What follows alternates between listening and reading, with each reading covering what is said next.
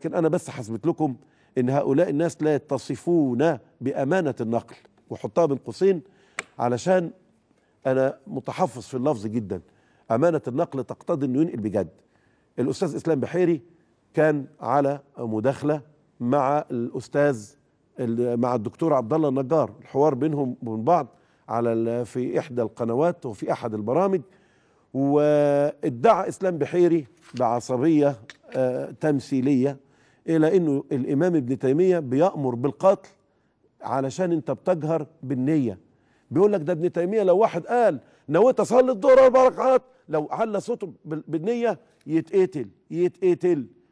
فالدكتور عبد الله النجار قال لا الكلام ده مش مظبوط. والله أنا سمعت الحلقة ديت والله ما نمت.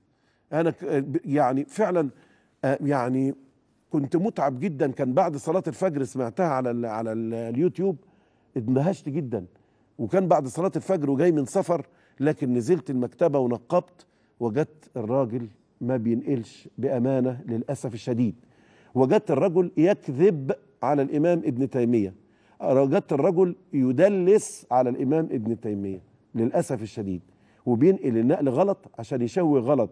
مسكته بقى ماسكة كده في النص دوت وقلت إيه طب ما تيجي نتسلى ونتعلم ونشوفه. اسمعوا المقطع الصوتي دوت وبعدين آه تفكروا فيه وناخد فاصل ونواصل. اسمعوا المقطع ثم نعود. اسمعي معايا اللي هقوله لك ده عشان بس تعرفي ابن تيمية مجموع الفتاوى الجزء اكتب ورايا يا دكتور عبد الله عشان تعرف إن الإسلام لا يكذب. ها؟ انت يا ابن أنا هاري كله أنا هاري كله يا اسلام أنا هاري اسمع اسمع لو سمحت يا دكتور عبد أنا هاري وفادي الجزء لو سمحت تسمع ده ده, ده, ده وقتي في الكلام. الجزء اكتبي ورايا يا دكتور يا أستاذة إيمان. الجزء 22 مجموع الفتاوى صفحة 235 و 236 ها المحقق أنور الباز وعامر الجزار الناشر دار الوفاء طبعة 2005 الطبعة الثالثه قلت لك كل تفاصيل الكتاب. واسمعي بقى اجابه ابن تيمية اللي الدكتور عبد الله بيقول إن الإسلام بيكذب على ابن تيمية. خلي بالك دار الوفاء دي بس اعرفك حاجة؟ بعد إذنك بعد إذنك. لو دار سمحت لو الوفاء سمحت. دي دار الإخوان المسلمين يا أستاذ لو سمحت إخوان المسلمين في النهاية لو في النهاية كتب ابن تيمية دار الإخوان. المسلمين. لو سمحت. لو سمحت اقرأ لو سمحت اتفضل لو الطبعات- سمحت اقرأ الطبعات المحايدة ولا تبحث عن مفيش محايدة مش هيتخيلوا النسخ موجودة الأصلية مش عايزين آه. بلاش تضحك على الناس ابن تيميه المخطوطة الاصليه موجودة اسمع الإجابة اللي موجودة في كل الطبعات وطبعة السعودية لو سمحت اسمع الإجابة يا أستاذ إيمان ابن تيمية يعني طيب. لو سمحت- لو. سمحت. طيب دكتور اسمعني. عبد الله أنا هستأذن أنا حضرتك. نسمعه وبعد كده هسمع طبعا رد من حضرتك بس عشان الناس أنا تسمع يقول لك. إيه إن زمان ما قالش أو إن الاسلام فاهم كلام زمان غلط بصي حضرتك السؤال أنا قلت لك الصفحه والرقم وموجودة في كل طبعات. غير دار الوفاء بالمناسبة ها ده ده كلام زمان مجموعة الفتاوى مفيش كلام مش هنتقول.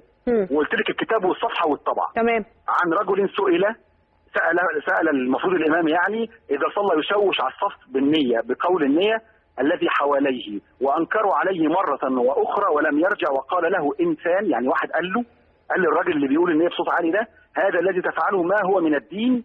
فقال له هذا دين الله الذي بعث به رسوله. يعني هو. الراجل معتقد إن النية من الدين. اسمع الإجابة بقى يا أستاذ أيمان على ابن اللي الفقيه ابن تيمية. فأجاب الحمد لله الجهر بلفظ النية ليس مشروعا عند أحد من علماء المسلمين. ولا فعله رسول الله صلى الله عليه وسلم ولا فعله أحد من خلفائه وأصحابه وسلف الأمة. وأئمتها. ومن ادعى بص بقى الإجابة. ومن ادعى أن ذلك دين الله وأنه واجب فإنه يجب تعريفه بالشريعة واستتابته من هذا القول. قول النية يا فندم ها؟ واستتابته من هذا القول فإن أصر على ذلك قتل. قتل. وقلت لكم الصفحة والجزء.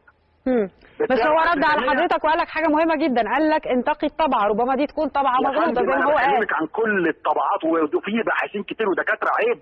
عيب في ناس معانا. أي طبعة لابن تيمية بنفس الصفحة ونفس الجزء هتلاقي فيها الإجابة عن سؤال النية إنه يستتاب أو يقتل. مم. عيب. بتضحكوا على الناس؟ ها أنا اللي بتقول على ابن تيمية ولا أنت اللي ما قريتش كتب يا دكتور؟ تسمع الكلام؟ طبعا. تتخض؟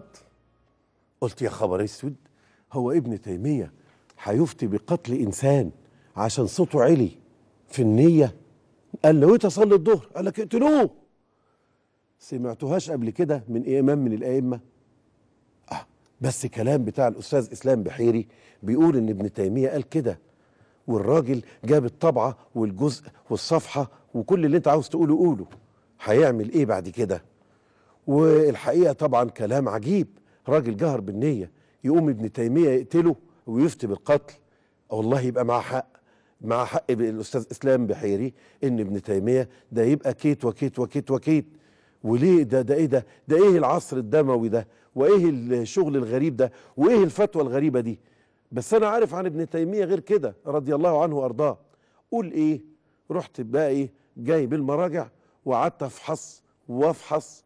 فوجئت الموضوع غير كده خالص. فوجئت إن في وركز معايا في اللي بقوله إن في بقية السؤال اللي الراجل بيسأله لابن تيمية تضمن مسألة تانية غير مسألة الجهر بالنية. كان بيسأل عليها الإمام ابن تيمية. وعشان كده ابن تيمية جاوب في السؤال على موضوعين على موضوع النية وعلى موضوع الردة. الرجل أساء الأدب وشتم وارتد وقال كلام خطير جدا. كلام تحليله عند العلماء خطير. يمكن إحنا في زماننا ده هنشوفه تافه لكن في الزمن الأول الكلمات كانت تبقى مختلفة زي ما بيقولوا كده إيه كلام خطير جدا. إيه الجزء اللي أخفاه السيد إسلام؟ هو دوت اللي هنشوفه بعد هذا الفاصل ونواصل علشان نكشف الحقائق لكل متفهم وذائق. ابقوا معنا.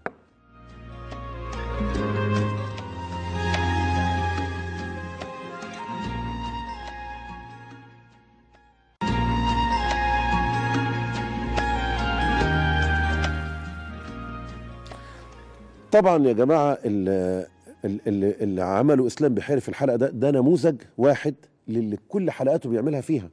يعني وعشان كده أنا بقول له خلاص إحنا مش هنسيبك. إحنا هتلا- هتلقانا نطلك في كل حتة وفي كل يعني خلاص حالة التغييب والتخدير اللي عملتها لبعض المساكين مش هنسيبك فيها تاني خلاص وهندافع عن صحابة رسول الله وهندافع عن ابن تيمية وهندافع عن البخاري وهندافع عن الصحابة ولا نقدسهم ولا نقدسهم وما هياش معركة معاك.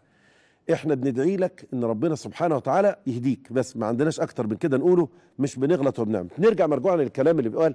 إيه ال ال ال إيه اللي عمله؟ حاجة بيسمى عندنا دوت آه، في علم الحديث اسمه التدليس. التدليس ده انك تخبي حاجة كده وبتاع وتروح على طول تلاقي الناس قدام منك متبرجل وسامع الكلام مبتصر تقول آه زي نظام ولا تقربوا الصلاة. صدق الله العظيم.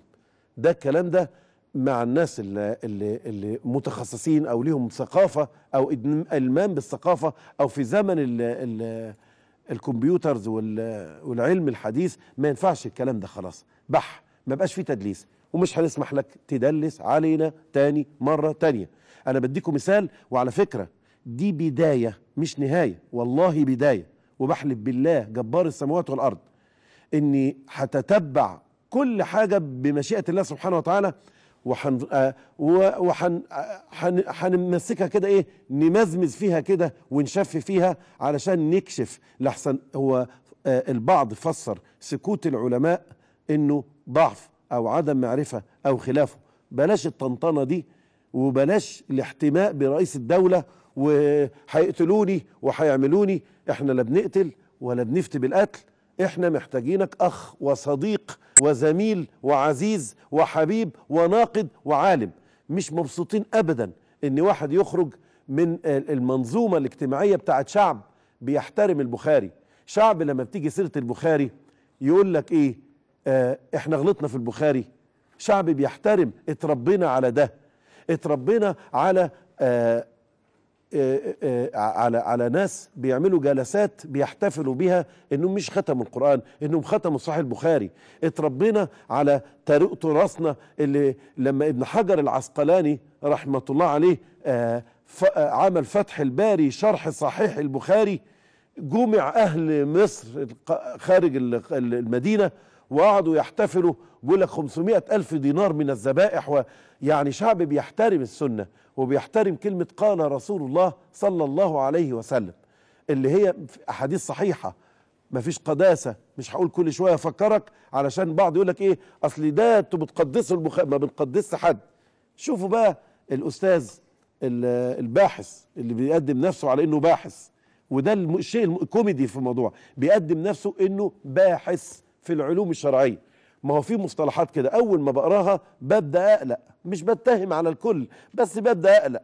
يقول لك خبير استراتيجي باحث ناشط سياسي معلش سامحوني أنا بعض هؤلاء مش بالكفاءة والدربة الكافية. يلا أديني بقول كلام في منتهى الهدوء والتركيز. وانتوا بقى إيه تقدروا الموقف. المهم الكتاب هو هو الكتاب نشوف أول صفحة عشان تطمنوا إن إحنا جبنا الكلام بتاع إسلام بحيري اللي قاله وأقسم بالله بالله إن هو ده. أهو يا سيدي مجموع الفتاوى. المؤلف تقي الدين أبو العباس أحمد ابن عبد الحليم ابن تيمية الحراني المتوفى 728 هجريه ما فيهاش كلام. طب مين المحقق؟ أنور الباز وعامر الجزار. نفس الكتاب والمرجع اللي بيقولوا الناشر إيه؟ دار الوفاء. الطبعة الثالثة 1426 و2005 ميلاديه وال... طيب هنا بقى إحنا شفنا أدي المصدر أهو بتاعنا أهو نفس المصدر بتاعه اللي هو مجموع الفتاوى. نشوف اللي بعده. السؤال بقى علمت لك أنا بالأحمر حاطط لك خط أحمر كده تحت خالص وسئل نفس الشيء عن رجل إذا صلى يشوش على الصفوف الذي حواليه بالجهر بالجهر بالنية وأنكروا عليه مرة ولم يرجع. وقال له إنسان هذا الذي تفعله ما هو؟ اللي بعده ما هو من دين الله وأنت مخالف فيه السنة؟ وراح صاحبنا إسلام بحيري واقف هنا قال لها إيه؟ بص بقى يا أستاذة دينا بقى بص بقى يا أستاذة هبة ولا شوفي بقى اتفرجي. راح ردد الأستاذ ابن تيمية الأخ ابن تيمية بالمناسبة وهنقف عند كلمة الأخ. تمام؟ راح ردد إيه؟ وقال لها شوفي راح قال قال- فأجاب. أجاب أمال الصفحة اللي قدامكم ديت راحت فين؟ الله ما قالهاش ليه طب أنا ده سؤال الحلقة للنبهاء والنشطاء. طب إذا كنت راجل بتدافع عن قضية ما قلتش الصفحة دي ليه؟ لأنك لو قريتها هتعرف مشكلة الراجل إيه. مش مشكلته جهر بالنية بس. لا اسمع يا سيدي. فالراجل بيسأل بيكمل السؤال. إحنا لسه في صفحة السؤال زي ما أنتم شايفين. فقال هذا دين الله الذي بعث به رسله. يعني الراجل كذب على الدين وبيدعي كلام تاني غير الوحي خالص. هو ده دين الله اللي نزل على الرسل. يلا بقى. دي كلمة عند العلماء اسمها قلة أدب إنك أنت بتتكلم باسم الله وباسم الرسول وبتدعي قل أتعلمون الله بدينكم. هو أوحي بعد رسول الله؟ طيب. ويجب على كل مسلم. بص الحكم الشرعي التاني ده. أن يفعل هذا. وكذلك تلاوة القرآن يجهر بها خلف الامام فهل هكذا كان يفعل رسول الله صلى الله عليه وسلم أو أحد من الصحابة أو أحد من الأئمة الأربعة؟ ده الراجل بيسأل. أعمل إيه في الراجل اللي بيزعق عندنا في المسجد ده؟ ده لسه الراجل بيسأل ابن تيمية أو من علماء المسلمين. فإذا لم يكن رسول الله صلى الله عليه وسلم وأصحابه والعلماء يعملون هذا في الصلاة فماذا يجب على من ينسب هذا إليهم وهو يعمله؟ أدي سؤال. فهل يحل للمسلم أن يعينه بكلمة واحدة إذا عمل هذا؟ يعني ينصحه. نعمل معاه و- ونسبه إلى أنه من الدين. بص بقى اللي جاية دي بقى اللي حطيت لك تحتها خط. عشان تعرف. ويقول للمنكرين عليه. يعني لو حد اعترض عليه الراجل اللي بيزعق في المسجد وعامل شوشرة ده لما حد بيعترض عليه انت عارف بيقول لهم إيه؟ بيقول لهم كل واحد يعمل اللي في مزاجه في الدين. فراح ردد عليهم وقال ويقول للمنكرين عليه كل يعمل في دينه ما يشتهي. اسمحوا لي أقولها لكم كمان مرة. الراجل مش مشكلته إن هو بيرفع صوته في ال- نية الصلاة بس. لا ده بيقول أنا الدين بتاعي اللي على مزاجي أعمله. هقولها كمان مرة للسادة اللي, اللي ما سمعوش ال- ال- هذا الابتصار المخل اللي حصل من الأستاذ إسلام وترمخ عليها بقدرة غريبة لا أدري سببها. قال إيه؟ الراجل بيقول ويقول للمنكرين عليه اللي تحتها خط أحمر اهي كل يعمل في دينه ما يشتهي وإنكاركم علي جهل. وهل هم مصيبون في ذلك أم لا؟ أعزائي المشاهدين والمشاهدات نتضح يتضح من هذا المقال أو أو من هذا السؤال إن في سؤالين اتنين سؤال فقهي وسؤال عقدي. سؤال خاص بالعقيدة وسؤال خاص بالفقه. الأسئلة اللي في العقيدة العقيدة عادة بتكون يا مؤمن يا كافر يا فاسق. الأسئلة بتاعت الفقه طويلة شوية أو الأصناف ال- الفرايتي بتاعها التصنيفة بتاعتها إيه؟ يا واجب يا مستحب يا من يا جائز يا مكروه يا حرام يا إما يعني فاهم يا ممنوع يعني. فالمهم عندك التقسيمة بتاعه الأحكام الفقهية غير التقسيمة بتاعه الأحكام العقدية. عشان كده ربنا لما اتكلم في الفقه قال أفمن كان مؤمنا كمن كان فاسقا لا يستوون ولا تستوي الظلمات ولا النور ولا الظل ولا الحرور وما يستوي الأحياء والأموات والى آخر هذا الكلام. إنما في الفقه الأمر فيه مرونة. علشان كده لو حصل أي خلاف في قضية فقهية بينشأ حاجة يا حبابي اسمها المذاهب. إنما لو حصل خلاف في قضية عقدية بينشأ حاجة اسمها الفرق. فالمهم الراجل هنا بيقول كلام خطير. إن كل يعمل في دينه ما يشتهي. أنتوا قريتوها بنفسيكم. إيه الحكم يا مولانا ابن تيمية؟ مش ابن تيمية. لو واحد جه قال لك الدين بتاعي اللي عاوز يعمل حاجة يعملها بالصلاة على النبي. عارف يعني إيه كل يعمل في دينه ما يشتهي؟ يعني اللي عاوز يزني تكت ايزي توكل على الله يا فلان اذني كل يعمل في دينه ما يشتهي. اللي عاوز يسكر اسكر. كل يعمل في دينه ما يشتهي. اللي عاوز ينحل اللي عاوز يمارس الشذوذ الجنسي. يا عم بلاش وسوسة اتوكل على الله. كل يعمل في دينه ما يشتهي. ده مش دين. ده ينفع بتاع زمان ده اللي اسمه إيه؟ بتاع الساكسونيا. ده إيه؟ واحد بيبادلك ببستله وجردل وحاجة. ده كلام لا يقوله عاقل. أمال هو إن ربنا بعت النبي ليه؟ ما العرب كانت أصلا بتتبع أهواها في طريقة العبادة. والذين اتخذوا من دونه أولياء ما نعبدهم؟ امال جايين هنا ليه؟ قال لك إلا ليقربونا إلى الله زلفى. أنتوا ما قريتوش الآية أفرأيت من اتخذ إلهه هواه؟ الله أنتوا ما تعرفوش إن في ناس عبدت آه، ده كان إبراهيم عليه الصلاة والسلام لما كان عايش كان في تشكيلة تشكيلة من الأهواء. ناس بيعبدوا كواكب ناس بيعبدوا الملك ناس بيعبدوا الأصنام أثناء حياة إبراهيم. ولذلك تلقى مناظرات إبراهيم مختلفة مع ثلاث جهات مش مع جهة واحدة. فدلوقتي لما واحد بيقول لك كل يعمل في دينه وبيصرح بهذا وبيقول لك هو الدين بتاعي كده ده السيستم بتاعي كده هنا الكلام دوت بيتصنف تحت باب اسمه باب الردة مش إبداء الآراء. باب الردة حاجة لأنه إذا جه النص لو ربنا قال وأقيموا الصلاة وجه واحد قال أنا مسلم زي زيك بس ما فيش حاجة اسمها صلاة. أقول له مسلم زي زيك دي عند بحلق ولا ما أعرفش عند مين اللي بيقولوا عنه ده؟ ما فيش حاجة اسمها مسلم زي زيك وانت بتنكر ما أثبته الإسلام وأثبته القرآن. لو افرض واحد قال لك أنا م... طب أقول لكم على حاجة. ما إحنا مش هنتوه. ها؟ هو ال... ال... اللي كانوا أيام أبو بكر الصديق رضي الله عنهم وأرضاهم. ها؟ هم إيه مشكلتهم ال... ال... المرتدين دول؟ سموا المرتدين ليه؟ صلاة بيصلوا زيك. شهادتين بينطقوا الشهادتين.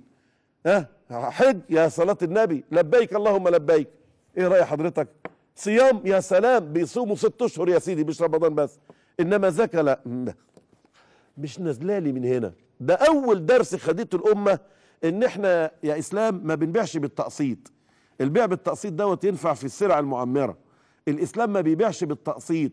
يا تقبله كله يا تسيب الإسلام كله. إنما بالطريقة بتاعتك دي ال- الاجتزاء يقول لك إيه ده إيه, إيه زي